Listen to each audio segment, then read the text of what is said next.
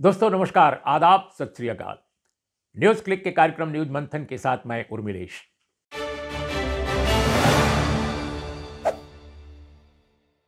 बिहार के मुख्यमंत्री नीतीश कुमार अपनी पार्टी के अध्यक्ष रह, राजीव रंजन सिंह उर्फ़ ललन सिंह को हटाकर हटाकर क्या उन्होंने इस्तीफा दिया सहमति से दिया?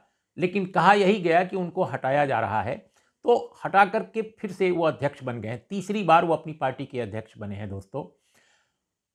और इस तरह की पॉलिटिकल पार्टीज़ में इस तरह का जो चेंज है, इस तरह का जो बदलाव है, वो होता रहा है, कोई नई बात नहीं है। ये उस तरह की पार्टी, जेडीयू या बहुत सारी ऐसी पार्टियाँ नहीं हैं जो एक पार्टी का कोई राष्ट्रीय अधिवेशन तीन साल के बाद होगा या पाँच साल के बाद होगा, उसी में बदलाव होगा। ये कभी भी बदलाव हो जाता है, इस पार्टी में भी ऐसा हुआ है। लेकिन दोस्तों, मैं आज इस पर बात नहीं कर रहा हूँ, क्योंकि इस पर बहुत कुछ कहा जा चुका है।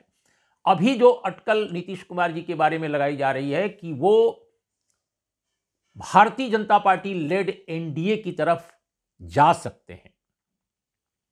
टीवी पुरम का एक बड़ा हिस्सा पिछले चार पाँच दिन से इसकी भविष्यवाणी किए जा रहा है कि वो एनडीए में जा रहे हैं। और कुछ तो ये भी कह रहे हैं, खासकर बिहार से जुड़े कुछ टेलीविज़न चैनल या यूँ कहा जाए कि कुछ यूट्यूबर्स भी ये कह रहे हैं कि वो दो उनको उपाधि, दो उनको पद दे रहे हैं। बाकायदे ऐलान किए जा रहे हैं कि एक तो वो गोवा के गवर्नर बन जाएँगे, केंद्र सरकार उनको गोवा का गवर्नर बना देगी और भारतीय जनता पार्टी का कोई व्यक्ति चीफ मिनिस्टर बन जाएगा। दूसरी अटकल लगा रहे हैं कि बिहार के चीफ मिनिस्टर वो बने रहेंगे और बीजेपी साथ रहेगी।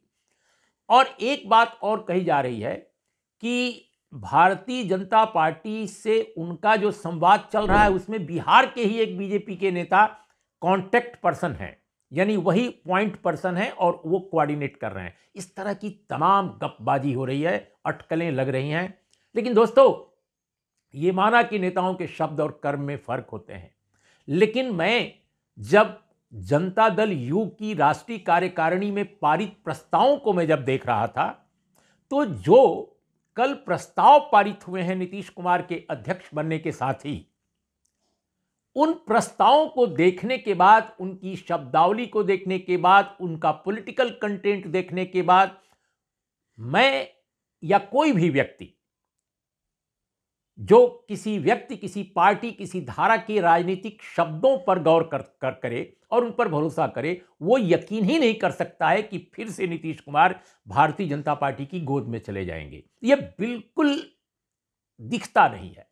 क्यों? अब मैं आपको बताऊँ जो चार प्रस्ताव पारित हुए जनता दल यू की राष्ट्रीय कार्यकारिणी में वो पहले की जनता दल यू जो रही है, जिस समय बीजेपी में वो आते जाते थे, उससे क्वालिटेटिवली डिफरेंट है। शायद ही कभी जेडीयू ने इस तरह से attacking Bharatiya Janata party RSS की राजनीति पर इस तरह से हमलावर होता हुआ राजनीतिक प्रस्ताव कभी पारित किया हो, मुझे कम से कम याद नहीं है। अब जैसे उन्होंने अपने एक राजनीतिक प्रस्ताव में कहा है कि भारत की संवैधानिकता को अंबेडकर द्वारा बनाए संविधान को नष्ट करके उसकी जगह मनुस्मृति को स्थापित करने की कोशिश कर रही है भारतीय जनता पार्टी, अपनी सरकार द्वारा। यह कहा गया है। यानी मनुस्मृति राज भारत में लाने की कोशिश हो रही है। आज के दौर में यह नीतीश कुमार की पार्टी कह रही है। उनके अध्यक्षता के काल में, अब आप सोचिए, इसके अलावा वो क्या कहते हैं? शीतकालीन सत्र में विपक्षी सांसदों का जो निलंबन हुआ, उसकी कड़ी भर्त्सना कर रही है पार्टी। इसके अलावा जाति आधारित जनगणना का न केवल समर्थन जो सरकार ने किया उनकी, उसकी पुष्टि केवल ही नहीं की, बल्कि कहा गया है कि पूरे देश में इसको होना चाहिए।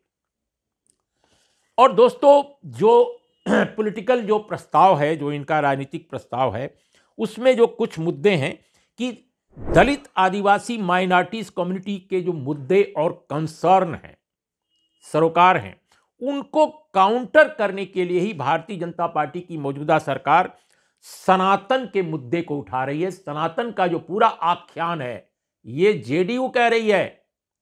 ध्यान रखिए, जेडीयू कह रही है कि दलित आदिवासी और माइनॉरिटीज के मुद्दों को और उनके सरोकारों को काउंटर करने के लिए भारतीय जनता पार्टी सनातन के आख्यान को प्रचारित कर रही है और स्थापित करने की कोशिश कर रही है, ये कहा गया है।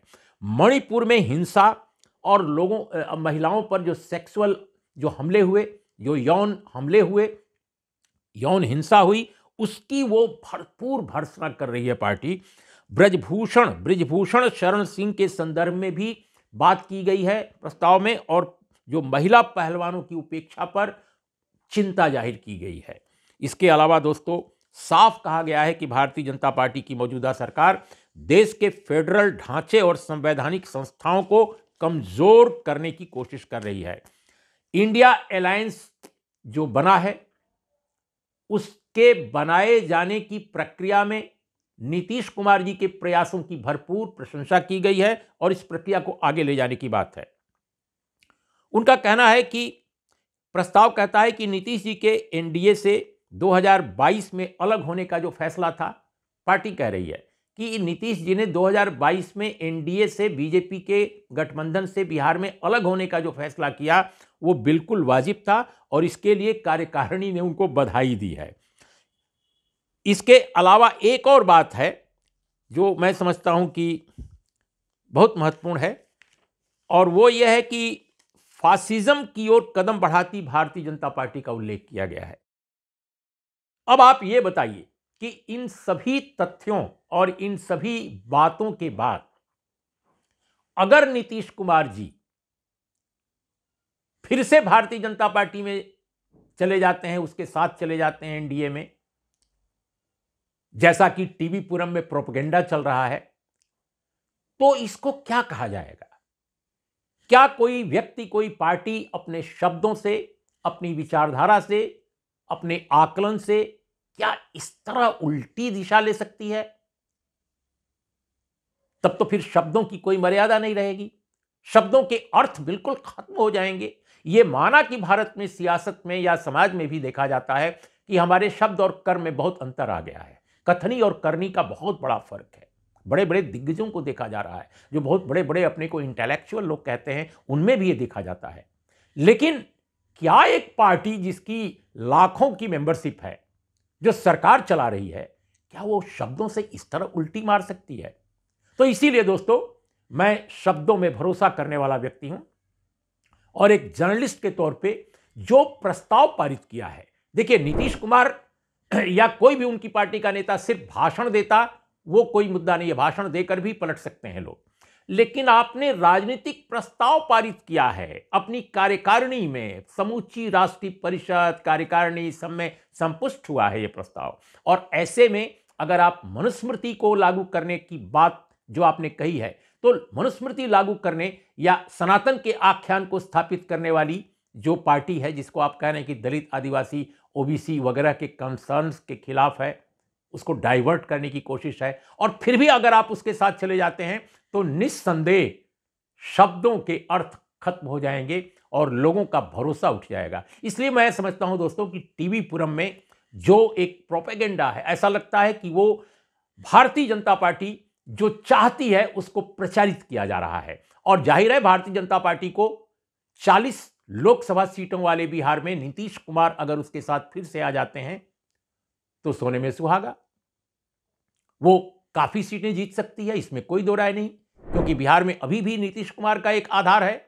अब ये जो अटकलें लगाई जा रही हैं कि बिहार में अपर कास्ट जो है वो बीजेपी की तरफ़ चला गया है और जो पिछड़ा वर्ग है, दलित है, आदिवासी है माइनॉरिटीज कम्युनिटी के लोग हैं, वो आरजेडी जो अलायंस है, जिसमें कांग्रेस है, जिसमें लेफ़्ट ग्रुप्स हैं, लेफ़्ट पार्टीज़ हैं, इनके साथ जा रहा है और नीतीश कुमार कमज़ोर हो रहे हैं। इसीलिए नीतीश कुमार ने इस छटपटाहट में अपने को अलग किया, या यूँ कहा जाए कि राजीव रंजन सिंह जो हैं, जो उसके अध्यक्ष थे, ललन सिंह, उनको अलग किया और स्वयं अध्यक्ष बन गए। तो शायद वो कोई काउंटर नई स्ट्रेटजी लेने जा रहे हैं, नया, नई रणनीति अपनाने जा रहे हैं। तो ये दोस्तों महज अटकलें लग रही हैं फ़िलहाल मुझे, और मुझे तो लगता है कि नीतीश कुमार ऐसा, ऐसी गलती शायद नहीं करेंगे जो उनके पार्टी के अपने डॉक्यूमेंट के खिलाफ चला जाता हो। तो आज ये मैं आपके सामने कहना चाहता था।